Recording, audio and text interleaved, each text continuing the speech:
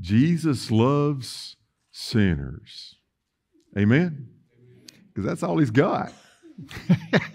that's all he's got's a bunch of sinners. I told the crowd Wednesday night, uh, I saw a bumper sticker that I just absolutely love. Now, when I first saw it, I didn't like it. But then I got to thinking and I got to grinning and I like it. And it said, the bumper sticker said, Jesus loves you. Then underneath it, it said, but I'm his favorite. I thought, no, I'm his favorite. And I thought, no, we all are his favorite. Amen? Jesus loves sinners. But that's all he's got to work with. I mean, we're just all a bunch of rascals. Y'all good with that? We're just a bunch of people that just need a touch from a holy God who wants to do so much for us. I think sometimes that we think God is waiting for us to reach this certain level of maturity before He'll actually say, Well, you're about to get it. I, I want to put my arms of love around you, but not yet. And the truth of the matter is, is He just wants to reach down and hug us. He just wants us to know that He loves us and we're the apple of His eye. We're the gleam that makes Him smile. Us. Us. But He loves us enough not to leave us in the broken condition that we often stay in far too long. He wants us to move from where we are to the very best that He has planned for us. And He's patient, and He's loving, and He's kind. But He has a plan for us. Sometimes I think it's kind of like having a Christmas tree with all these presents underneath it that have your name written on the present, and God has given them for you. And what He wants you to do is to come and take it and unwrap it and, and enjoy it because it was given with you in mind. He has it specifically for your joy, for, so that you can be happy in the Lord so that you can have it. But sometimes I think that we just leave a lot of those presents under the tree. I mean, God took the time, if you think about it that way, He doesn't live in time, but it, it was something that He wanted to do. He put the thought in it and he, he gave it so that we could have it, but we just say, Yeah, wow, that's great. What else? You know? Or we may even unwrap the present and look at the box, listen to me now, and know what it is, and just still just leave it there, right? Now, when I was a kid, on Christmas morning when they said go, right? Let the unwrapping begin, right? And it was tear into it and it was and, and, it was open up the box and everybody else been doing something and I'd be getting out my my football field here. Y'all remember those? It was so great. You'd line them up and you plug it in and it would vibrate. Can I get an amen? And my man we had the ball would sit there and run in circles and just go back around in circles. But I thought it was the greatest thing in the world. And the smile that was on my face, you know, God has so much planned for us. The God of the universe wants us to enjoy everything that comes in the gift of God for us. I want to share a quick word before we ever get started. This is just the introduction, so this is free. We talk about this word a lot called eternal life. Y'all good with eternal life? But it means more than just living forever. Right? Remember the Garden of Eden? After they sinned, he had to, to put the, guard, the guards around the tree of life because he didn't want them to eat of the fruit of the tree of life then and stay in that condition forever. And he doesn't want anyone to be separated from him forever in their sinful condition, but that is the definition of hell. So it's more than just living forever. But you get to the end of the Revelation, Revelation 21, and that is where he wants you to have that. He wants you to enjoy that. Eternal life means more than just a duration of time because time won't exist. but it means more. Come on now, listen. Everything that is of the abundance of the nature and the glory and the grace of God has been given to us. He wants us to enjoy all of the benefits that flow from the perfection of God. So love that has no end. Joy that has no end. Peace. Happiness that has no end. So, yesterday afternoon, by the way, I, I, can't remember of one time in the last two years where I've been invited to the hospital. It's been a tough two years. It's been a tough, tough two years. But they took Jimmy into a hospice room, and at that point in time, they didn't care. The only thing that they said was, Don't be so loud, you're going to wake the neighbors, or something like that. So uh, uh, they, they, they gave me a call, and I, they, they actually had before, yesterday, they, let me, they called me and let me pray for him on the speakerphone. And I tell you that, that was more for me than it was for them. But um, yesterday I got to go up, and there, there, all the family was there except Sheila, and she doesn't like crowds. And uh, everybody's got to do their own thing. And but they were all in there, and I just went over there and got down, squatted down. And, you know, they say that your hearing's the last thing to go. So I just talked to Jimmy for a while. And I wished him well and told him how much I loved him and how much I thought of him. Um, then uh, we, we talked some more. I prayed. And I told Jimmy, I said, it's okay. It's time to go home. I know you're a fighter, but it's time to go home. Ben texted me last night at 8:23 and said, "Dad's gone. He's finally home." And uh, eternal life began not last night, but a long time ago when he gave his heart and life to Christ. And his name was written in the Lamb's Book of Life. Jimmy's like the rest of us. He struggled through some things.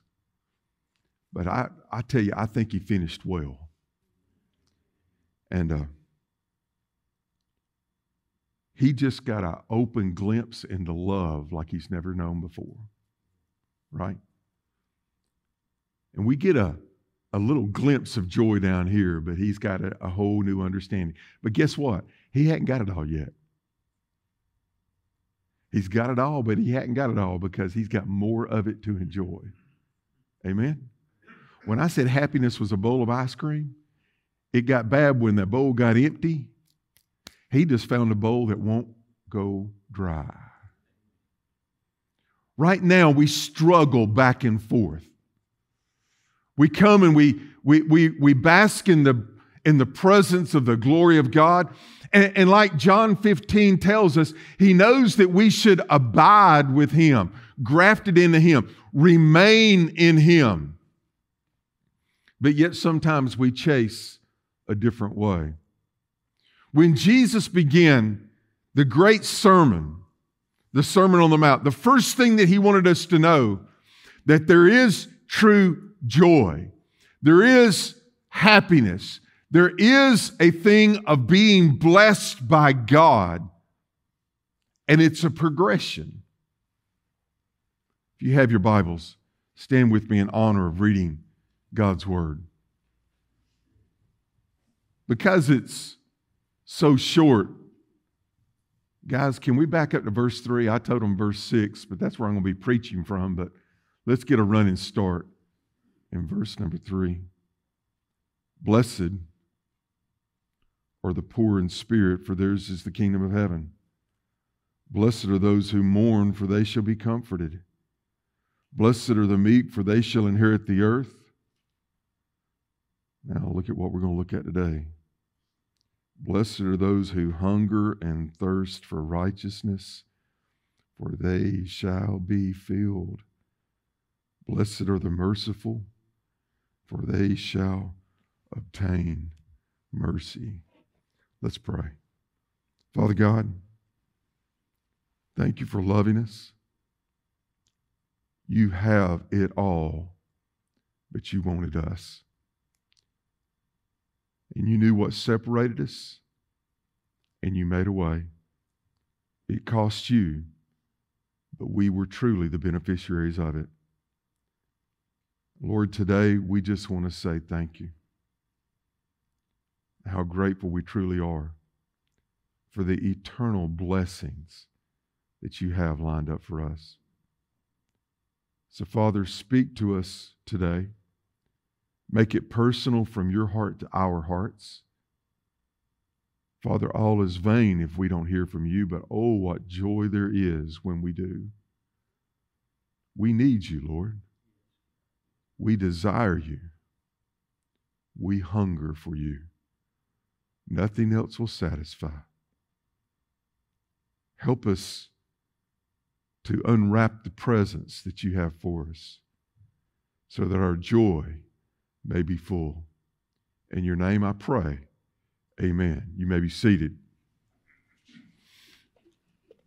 We learned last week that the relationship and walk with God begins by being not lifted up in the spirit, but understanding that without God we are bankrupt. We have nothing. We're busted. We're broke. We have no standing whatsoever. But blessed are the poor in spirit, because once they realize that, God says, I will open up to you all of the kingdom of heaven. He is not going to have a gate that you can't enter into. He's not going to have a room of blessing that you can't enjoy. He's not going to have a gift of part of the, the glory of God that He's going to keep from you. It's all there for you, but you have to first come understanding your need.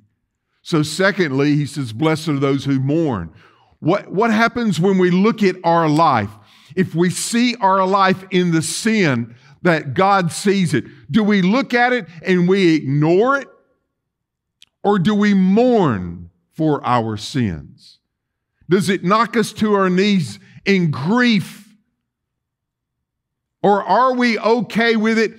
Have we learned to settle for the sins that break the heart of God?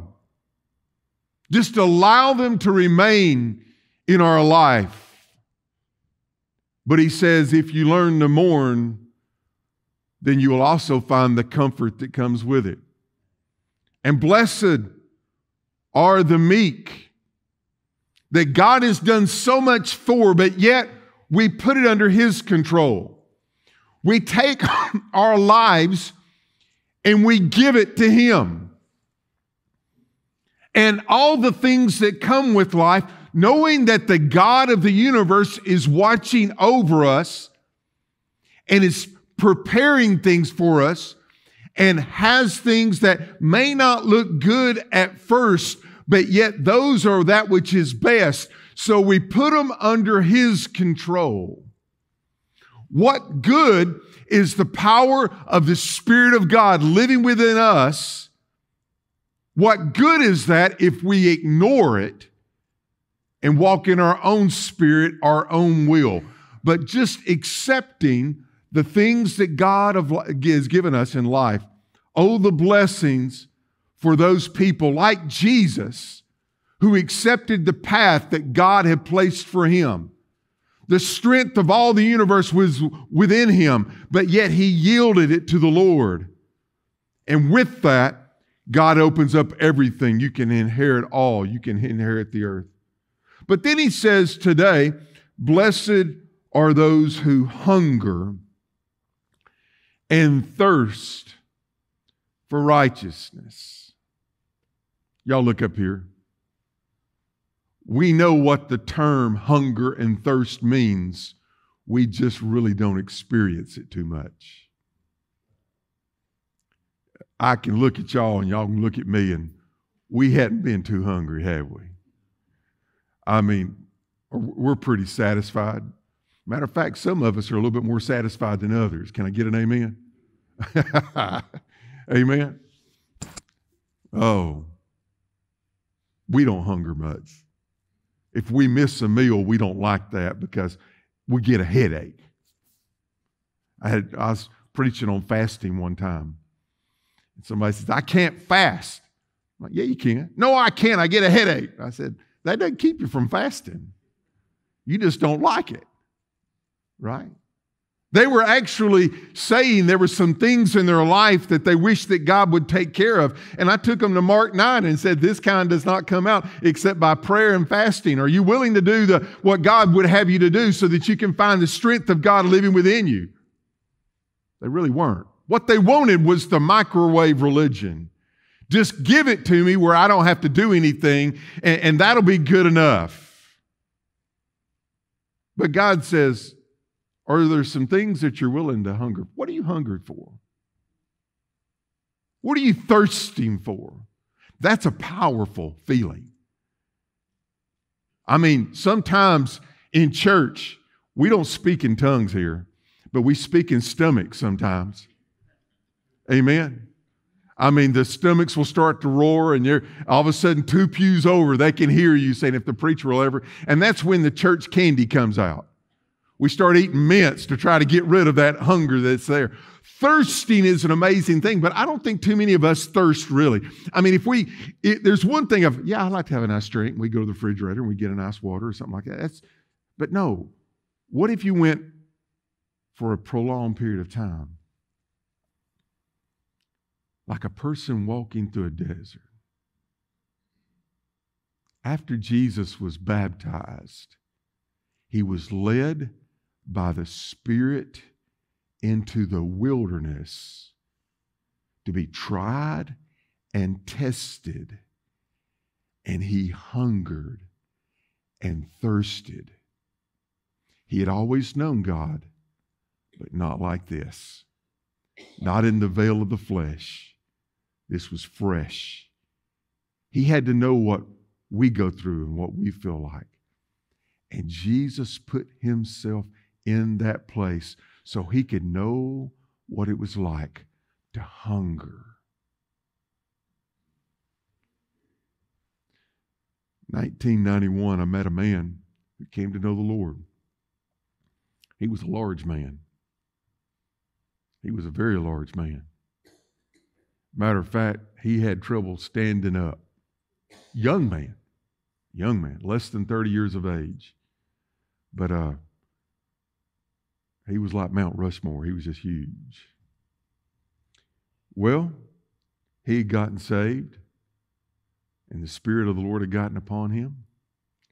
And he began to pray, Lord, give me a hunger for your word and not for food.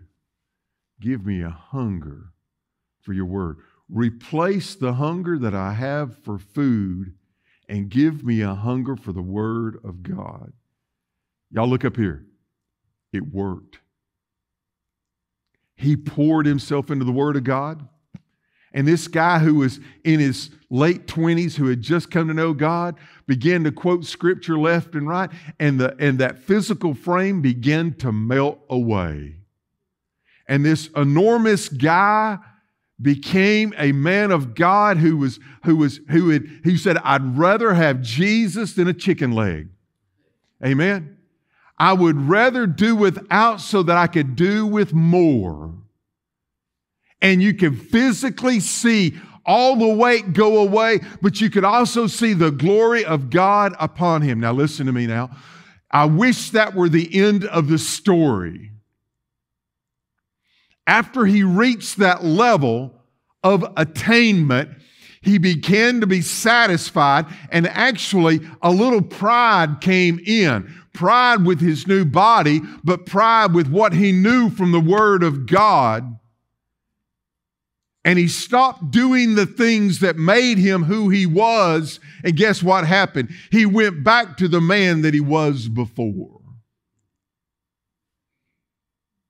There have been times in our life, may the Holy Spirit point this to the areas in our life as we need it. There have been times in our life that we have been extremely hunger for, that could only be satisfied with the Spirit of the living God, Jesus Christ, abiding with us, leading, guiding, comforting, and helping. but we became satisfied with a substitute. And that was okay for us.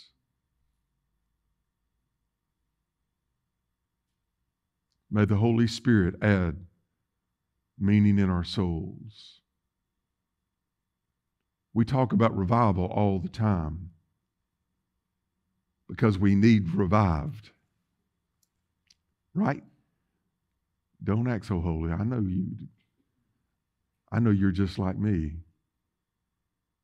And the one that makes God shake his head is the one who's satisfied, who no longer hungers and thirsts for the things of God, the right things of God, living the things of God, living the truths of God, walking in the ways of God, speaking the love of God, living it out in your life. Not just another chapter of knowledge that you put in some file cabinet in the back of your mind that you've learned it and, and it's there, but you're not practice, practicing it. Blessed are those who want more of God and nothing else will do. Nothing else will satisfy. Bible says in John 7, verse 37, on, on the last day, that great day of the Lord, Jesus stood and cried out, saying, If anyone thirst, let him come to me and drink. Do y'all like that word, anyone? Are you thirsty? There's a fountain that you can drink from. If you're living in a desert in your life, there's an oasis, and his name is Jesus. Jesus was walking through a land that not too many people wanted to go. He met a woman there. We know her as the woman at the well. She came to get a drink in the hot of the day because she was not accepted in the society that was there. But God led Jesus to that place to meet her because God wanted her to get a drink, not from that well, Jacob's well, but from God's well in Jesus Christ. And he said to her, John 4, verse 13, Jesus answered and said to her, Whoever drinks of this water will thirst again. But whoever drinks of the water that I shall give him will never thirst. That means it's quenched, folks. We'll never thirst. But the water I shall give him will become in him a fountain of water springing up unto everlasting life. Did you hear that? Everlasting life. That means forever we will be getting more of the precious fountain of God springing up within us fresh new drink for today, more of the grace, more of the understanding, more of the joy comes from Him. The only thing that keeps us from that do we want to drink? Do we want to drink? Sometimes a waiter or waitress will come by and they'll look at us and say, More water? No, I'm good. I'm good. I'm all right right? You've done that. I wonder if God walked by and said, Would you like to have more? I wonder if we say, No, I'm good. I'm good. I wonder how many people today, you're here. God bless you. If you're watching online, thank you for watching. But I wonder how many people today are not going to have an encounter with God because they're not going to be hungry for the things of God there's, there's this beautiful, bountiful table of the blessings of God, and, and people just, no, I'm good. I'm all right. The old men used to say that a full dog won't hunt.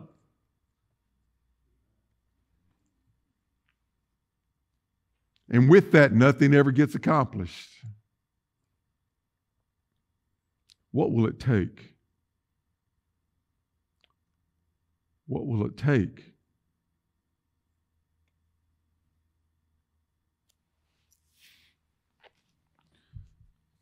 I've been reading the Sermon on the Mount. Y'all got your copy of God's Word in front of you? This is extra. Verse 27. You have heard that it was said to those of old, You shall not commit adultery. Y'all know what adultery is? But I say to you that whoever looks at, his, at a woman to lust for her has already committed adultery with her in his heart. Just to look at her and that to happen in your heart, you've already committed adultery. That's not where I'm headed. The next verse is where I'm headed. If your right eye causes you to sin, pluck it out and cast it from you. For it is more profitable for you that one of your members perish than your whole body to be cast into hell. You got some temptation that's coming against you? Cut it out. Hold on. He says, if your right hand causes you to sin, cut it off. Cast it from you. For it is more profitable for you that one of your members perish than for your whole body to be cast into hell. It's worth it to get rid of it now. What is it that you've grown accustomed with that's keeping you from hungering and thirsting from the things of God? He says, get rid of it. Oh, preacher, that's radical. Jesus said, pluck out the eye. I call that radical. Cut off the hand. I call that radical. My, my, my point is this would you rather pluck out the eye or would you rather God pluck out the eye? You keep praying for blessing.